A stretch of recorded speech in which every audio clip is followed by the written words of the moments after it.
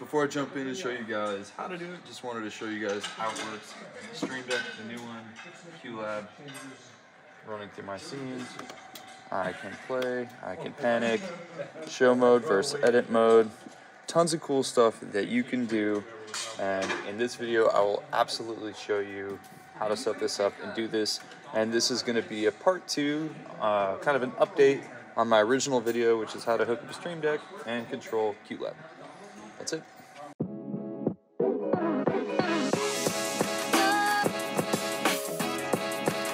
Remember to like and subscribe. First, I wanted to show you as of January 24th, 2024, my buddy Sam.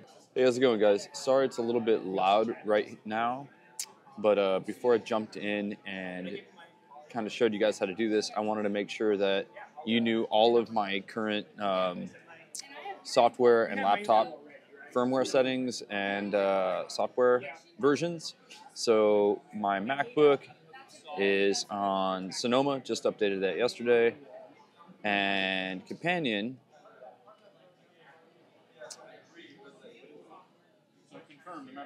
is 3.2, the beta version. So this is the most current version of Companion.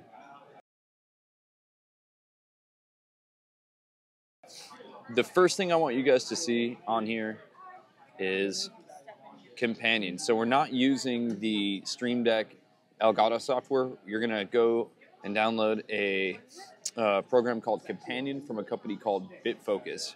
It's free. They're awesome. Uh, the BitFocus Companion community is huge, and couldn't say enough good things about them. So definitely check that out. Before we uh, jump into Companion, though, I want you to launch QLab. So open up QLab, have something in there, and we're just gonna let this sit right there. Now I'm gonna open up Companion, and we're gonna launch the GUI. What I think everybody is missing in this video compared to the other videos is um, just IP addresses, like a local address. Um, people that aren't strong with any sort of networking skills or are just unfamiliar, it's just as technology grows, things are becoming more uh, networking based, and that just only expands what you can do. So we're going to start this from the very, very beginning. In fact, I'm going to just wipe out uh, my old settings right now.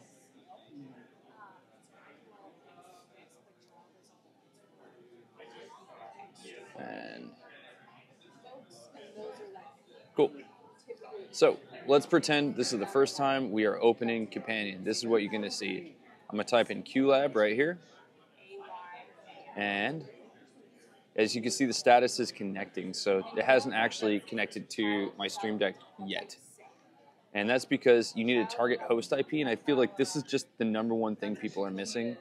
So you want to enter your local address for this configuration. Um, we can get into networking and stuff in greater detail, but right now I have, um, sorry, I have my Stream Deck just hooked up via USB to this MacBook. That's that's it, right? And we want to use it that way. So uh, USB hooked up to the machine. This is our local address right here. So one two seven dot zero dot zero dot one, and that may be different for your machine. That's just what the local address is for mine. Sorry to jump in here with kind of a crappy cell phone recording, cell phone audio, but when I was putting this video together for YouTube, I realized uh, it might be beneficial to show you a couple things, just if this is all new to you.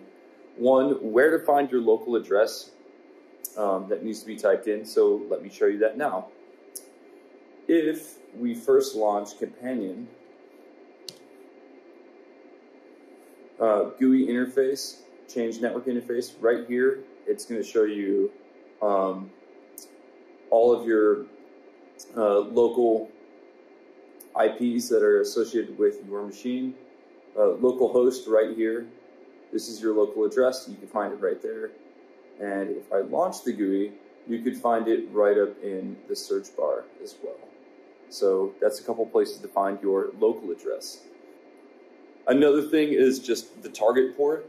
And if you're not a big networking guy, don't worry about this. Leave it exactly where it's at. Um, in the case of QLab,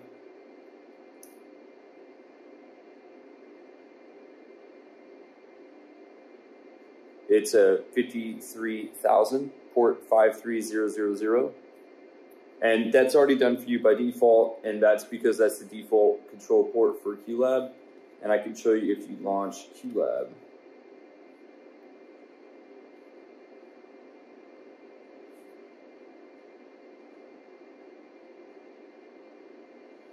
And go down here to the gear. And if you're a big networking guy, this will make more sense to you. If you just are trying to get your Stream Deck up and running, don't worry about this. Um, but if I click on network, uh, destination is localhost, and here's the port. By default, it's 53000. Leave it alone if you don't know what you're doing and you just want that to be controlled. If you're a big networking guy, um, yeah, there's where you can control your port. Uh, here's the networking pre networking preferences for QLab, and the default port is 53000. And the wonderful people that worked on the companion module,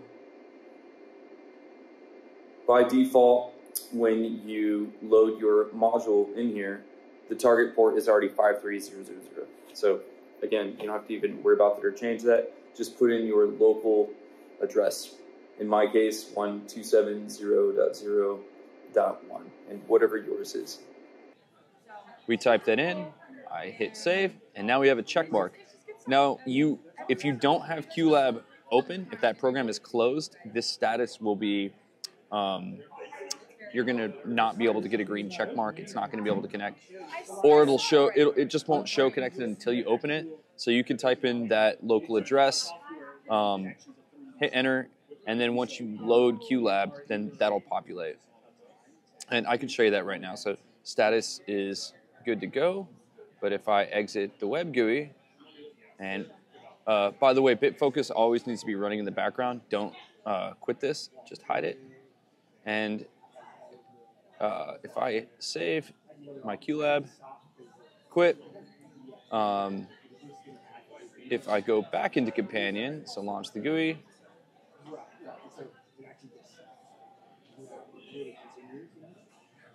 warning, no workspaces. So that's because QLab is not open, but if I go back, open QLab,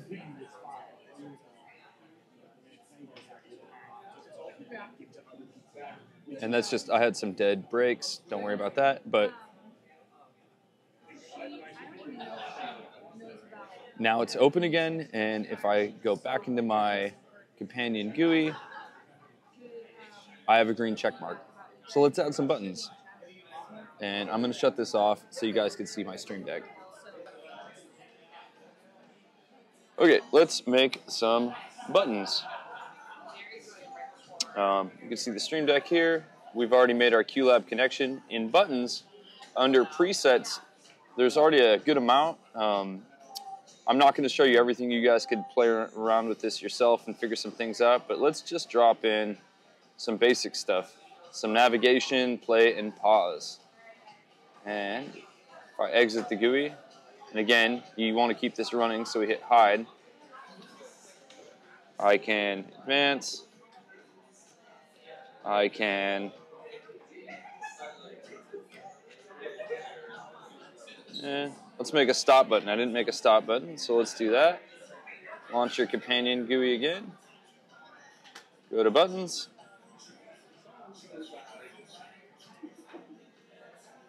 Boom.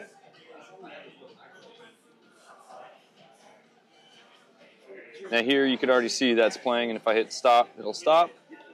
I can move around, hit play, and it'll play.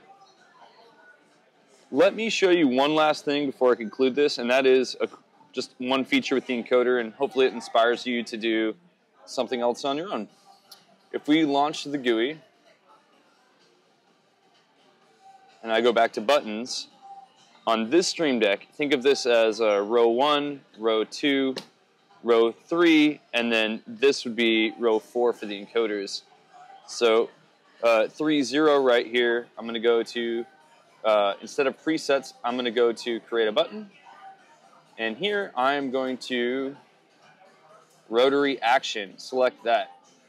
And now rotate the knob left, rotate the knob right. So under left, if I go into here in the library, here's some QLab actions, and I can go to,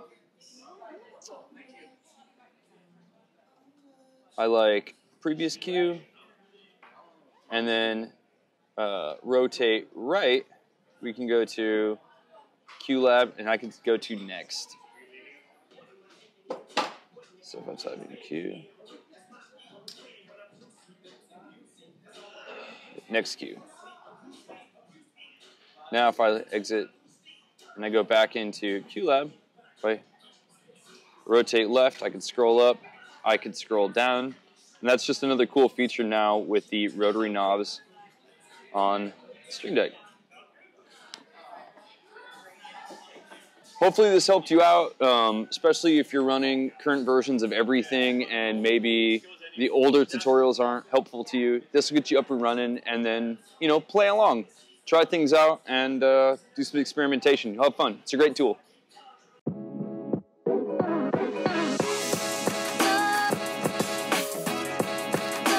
Remember to like and subscribe.